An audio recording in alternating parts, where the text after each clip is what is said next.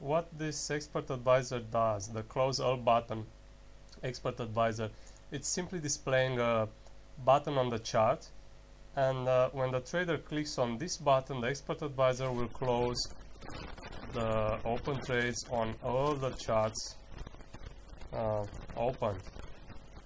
So for example if I have three charts with three open trades and the RobotFX, uh, RobotFX and the close all button It's attached to only one chart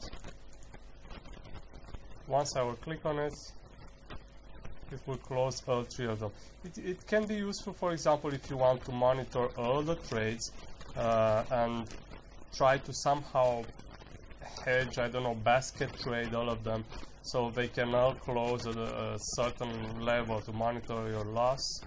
And uh, maybe when the loss is uh, somewhat close to break even for all these cells uh, then close the trades like an emergency emergency close.